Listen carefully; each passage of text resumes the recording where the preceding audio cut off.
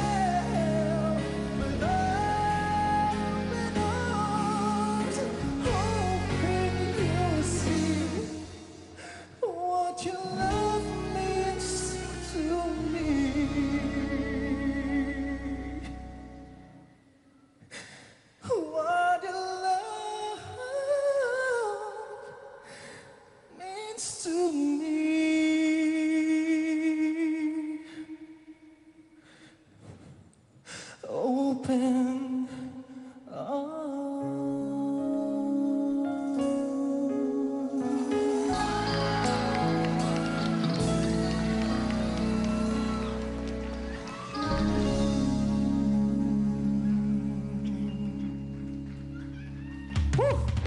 Wala ba kayong mga panyo dyan? Judges, base sa performance ni Kenneth, tingin nyo ba nakatulong yung tension na namagitan between him and his mentor, JR, sa ginawa niya ngayong gabi? Mr. Joey De Leon. Ako, ah, natigagal ako. Ah, um, hindi ko masyado mag-ano sa pagkanta mo. Mag- Magaling ka naman eh. Open ka ba talaga sa mga... Hindi, open ka sa mga... pro- Kasi halos... Halos umiyak ka na eh. Ah, gusto kong tanungin tungkol doon sa... May nagsabi doon sa isang membro ng ano kanina. Open ka bang sagutin yung echusera na sinasabi? Anong tingin mo... Hindi, hindi. Para... Okay, maging open ka. Anong... Anong take mo doon? Bakit niya sinabi yung... Yung membro ng... Yung kay Ray Valera? So what? Yung so what? Oo. Ano, anong tingin mo? Ba't niya sinabi yung echusera ka? Um, hindi ko po alam kung bakit. Oo, yun lang. Eh, tama yung ginawa mo. Pag, ang pag-awit daw eh, kailangan eh. honest ka yung sa feelings mo.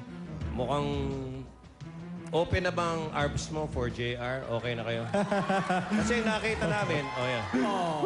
Tape yung nakuha na, nakita namin eh. Kaya gusto ko makita. Nag... Okay na kayo? Yung- Okay na po. Okay. Ayos na yung kanta mo. Parang may napo na lang ako, may na-miss ka atang word. Ganyan na isa. Sa Java yun? Second. Sinadya ba yun? Yun hindi ko alam eh. Actually, nadala po ako na emotion ko talaga eh. Ah, na, na-miss mo. Namiss ko po. Pero okay lang, Yun yung okay lang. ano.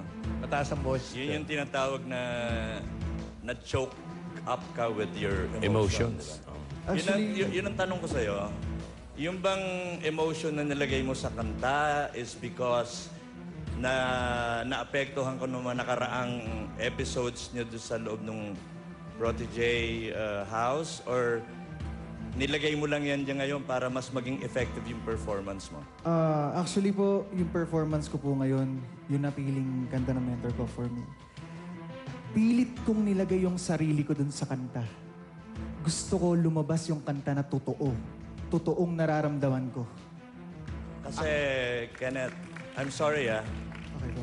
medyo nasobrahan ka sa akin eh. Parang OA eh, ang dating. Yung mga pahikbi-hikbi, ah, hindi ko masyadong type. At kung hindi mo na Diretso yun na kita. At kung hindi mo rin na po na direct, ang initials ng open arms ay OA. hindi nga. Pero, hindi, kaya nga. Tama yun. Medyo, medyo, medyo nga rin eh. Medyo sumobra talaga eh. Ah, Nataon lang, nataon. Di ba, di ba lagi kong sinasa... Twice ko na sinabi sa'yo, minsan you're too much in control, di ba? Lagi kang parang nag-iingat. Para ngayon, nakita ko kung bakit. Kasi pag binigay mo, medyo nawawala ka eh. Ito ngayon, doon sa mga birit, yung mga pag, pag ah, modulate, pagkambyo, parang medyo na-off ka ng konti. Parang, siguro nga, carried away ka ng emotion, no? Pero, babalik tayo ngayon sa control. You have to control that. Ako naman, Diba? pwed, hahabol ako ah. Ako naman, nagustuhan ko yung performance mo. Parang yung problema mo sa bahay, iniwan mo, at the show must go on, kumanta ka ng maganda rito. Ngayon, actually, kapag sa malaking venue at yung mga arte, yung pag-OA mo, actually, tama yun. Kaso, napalapit ka sa amin, kaya medyo umuoy nga. Pero sa malaking venue yan, Okay. tamang-tama ngayon. Parang kinukontra mo si Bert lagi, ah, Louie. Parang, JR, proud ka ba sa ginawa ni Kenneth? Ako, proud na proud talaga. Sabi ko sa kanya talaga, ah, ipasok yung character niya sa, sa, sa kanta. Sabi ko din, okay nga eh, na talagang ilabas mo na nag-away kami, ganito, ilabas sa stage para makita talaga ng viewers na talagang sorry siya at ano na... Pero okay na kayo, okay na talaga. okay na kami. Ito nga, open Iyon, no? na nga kami. Yan. Alright, maraming salamat. JR and Kenneth, kung sa tingin nyo, eh dapat pa magpatuloy si Kenneth sa kanyang battle for the big break, vote for him by texting Protege Space Kenneth and send to 367 for Smart and Talk and Text or 2344 para sa Globe, TM, and Sun. Okay, ngayon sa ating live ranking, nangunguna si Lovely, of course, followed by Kenneth dahil siya ang pumapa